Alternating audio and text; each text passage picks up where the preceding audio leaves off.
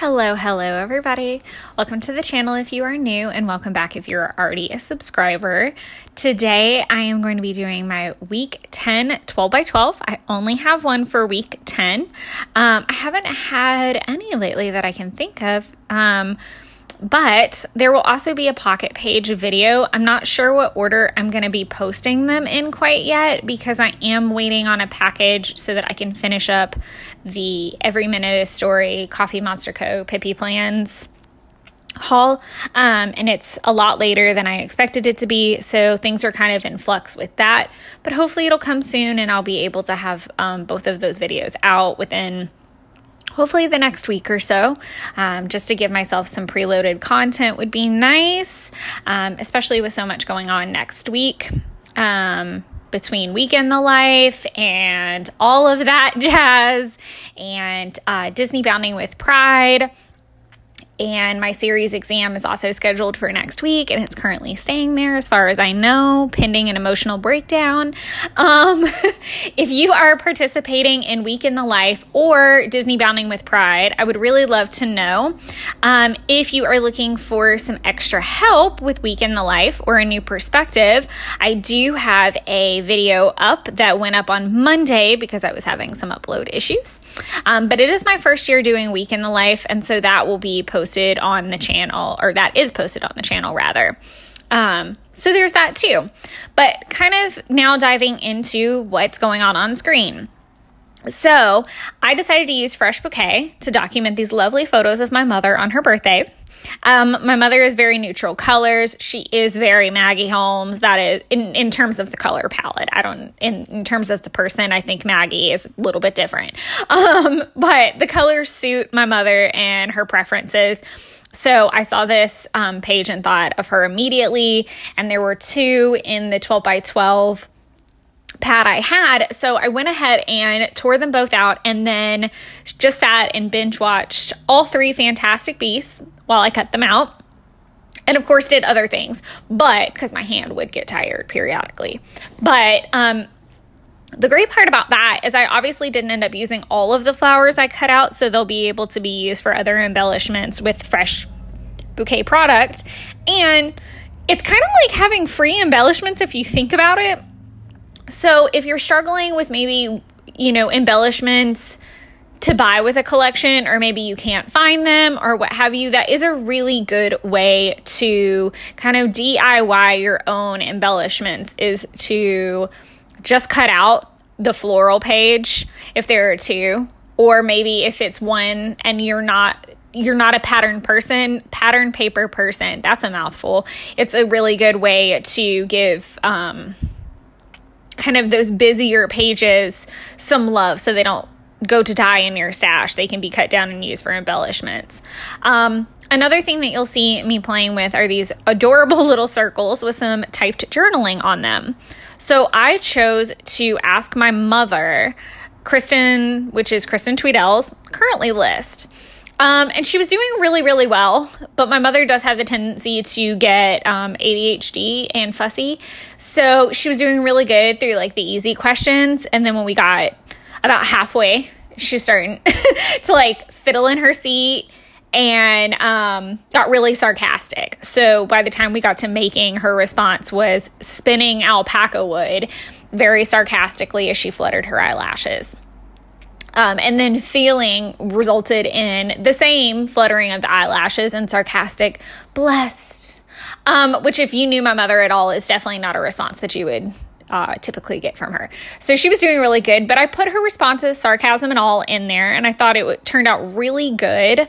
Um, originally, I was going to put them all across the bottom, kind of in a zigzag, but I ended up doing them in a straight diagonal across the page, and I love how it looks. I love how the spread turned out in terms of um, format.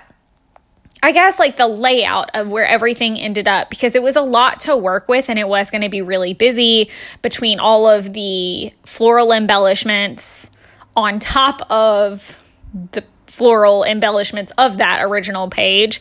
Um, and on top of that, the paper layers. Um, yeah, it was going to be a lot. And I did want her voice to be heard instead of me journaling about her birthday or the traditions. And currently lists are something that I've been doing this year. So it was a way for me to incorporate something that my mother's doing um, or that I'm doing into an activity with my mother. And I do think going forward, I'm going to try to do that with a couple, a couple, can't talk today, family members and friends as their birthdays or other events occur. So, as you can see, I am gluing these florals down.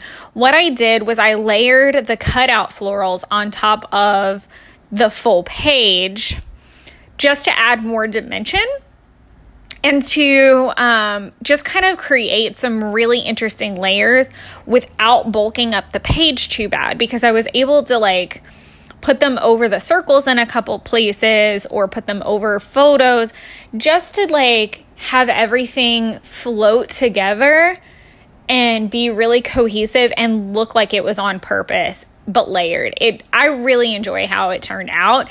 I think if I were to go back and change anything at all, it would be that I did this like faux stitch border with my micron pin around all the circles, which I really liked. If I had thought about it and maybe been in a better frame of mind where I didn't have so many obligations, I would have loved to have actually stitched it.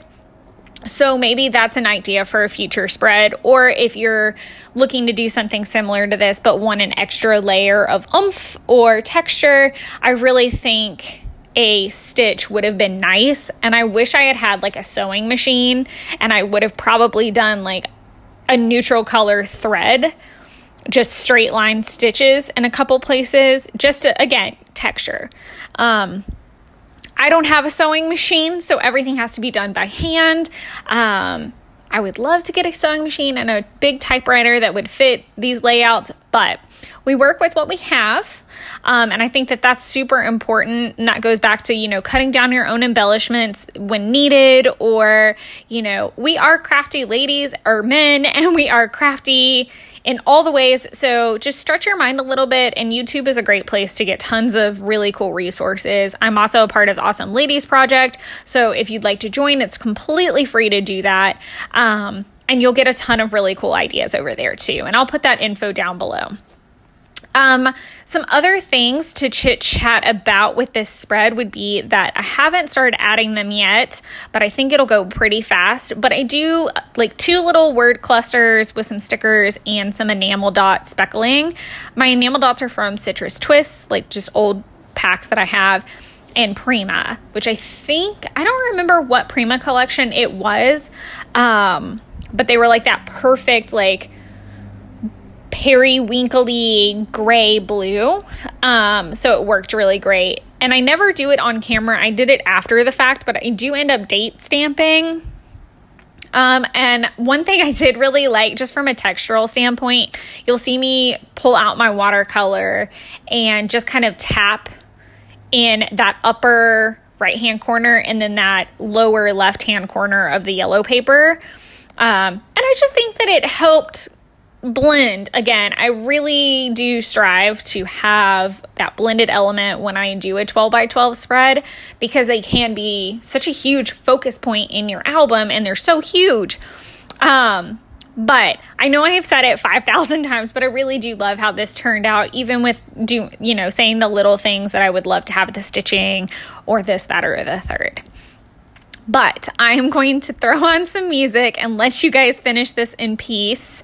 I hope you all are doing well and enjoying the content. If you guys have any suggestions, I would love to hear them. Um, as it stands right now, I've got week 10 pocket pages and that haul video, and then we'll probably roll right into planner videos because we're really close to the end of the month. Um, so that's just kind of currently my plan. And then going into July, we'll probably kick off with week 11, is my plan. I think it is anyway. But until next time, happy planning, happy crafting hope all the happy summer things are coming your way and look forward to the next video with you guys. Bye.